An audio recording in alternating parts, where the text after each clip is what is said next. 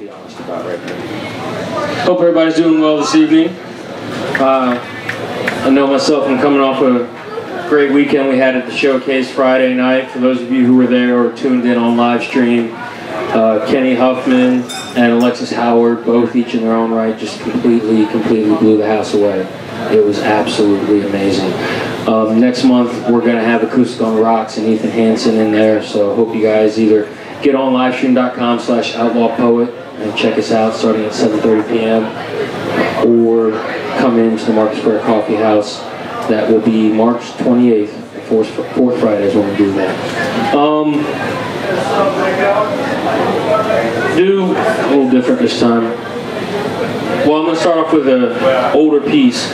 I'm not going to not going to throw any names out there, but one of the members of our, our artistic family, we were talking on Friday night, we were talking about some of the stuff that's real, deep, personal, um, sort of thing that you're you're afraid to bring to the mic because of what it lets out.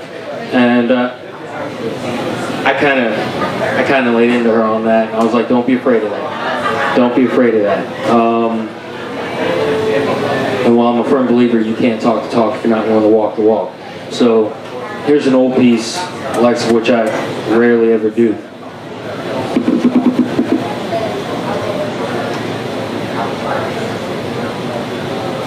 Coming out of the shower, it is now 9 p.m.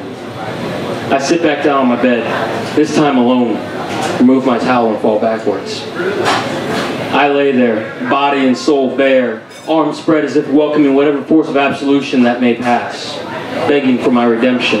You see, my foul pen has just written yet another check that my heart cannot cash. My mind drifts back to when it all began, some year and two months ago. Different time, different setting, similar circumstances, same woman, same blanket. I begin to drown in these haunting recollections. In horror, I stand up, throw on a pair of boxers, pick up an ink pen and notebook. I've stopped the music, but there's another sound ringing clear in my head. Some of her last words when she walked out, listening to that same song. This must be what it's like to be dead. The essence of these events swirling around me, creating this crazy vortex, this whirlpool of, of bittersweet pain, agonizing bliss, and welcome horror. I'm sucked in and consumed, and in distaste and disgust, I abruptly stand up again, toss aside the book and pen, and trying to distract myself, I hang the towel in the bathroom, pop open that rum, and pour another drink, followed by another, and then another, and then another, and then another. But alas, it will not subside quite so easily. The specters of exoneration having already passed me by, I'm left here to rot in blank anxiety, apprehensive of the next occasion, already knowing that I shall succumb to the base primal demands, wondering why I put so low a price on my own inner peace. Repulse, I forsake the ink pen with the same casual callousness as when I utilized its predecessor. Night down yet another glass. Turn out the lights. Close my eyes. Wrap myself in a new blanket, the former having been sent to the washer and dryer of reprieve and remorse. And as consciousness fades, and the haunting tunes again play, I wonder what will come of me in the dawning of the new day. Thank you.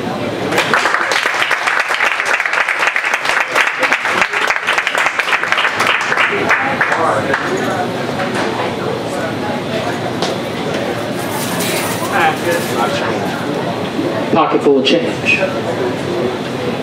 That's all I got for you right now is a pocket full of change.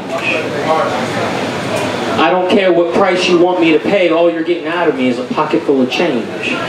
You see, it amazes me the things that some of us do with ourselves.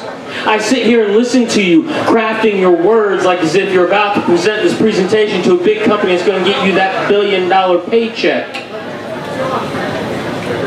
But everything coming out of your mouth is cheap.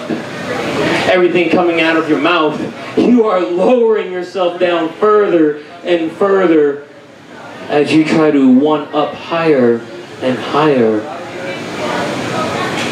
I'm not going to give you a million dollars for it. I'll give you a pocket full of change. You see, all I got is this pocket full of change. And it amazes me the lengths that we will go to, the money that we will spend, to find some blissful, happy moments, I can show you that same blissful, happy moment on a dollar a day. Because it's not about how expensive the meal was. It's not about how much you paid for those movie tickets. It's about that feeling as I'm next to you and you're next to me. Smiling, enjoying what's on the screen. It's about that feeling when we're walking together, the sun being down upon us. Hmm. Those silent, unspoken feelings drifting between us. They are priceless. I don't even need that pocket full of change. But I'm still carrying this pocket full of change. I'm not afraid to admit I'm picking up every dime I see you drop. So that way one day when you're wondering why everything stopped, when you're wondering why everything just came at you like that, I can say, well, let's see, you, uh, you did a little bit of this, and a little bit of this, and a little bit of this, and a little bit of this, and where to get you? Everything you thought you earned is now scattered across the floor.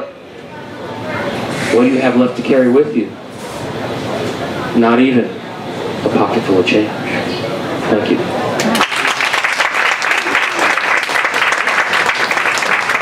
I'll pick that up a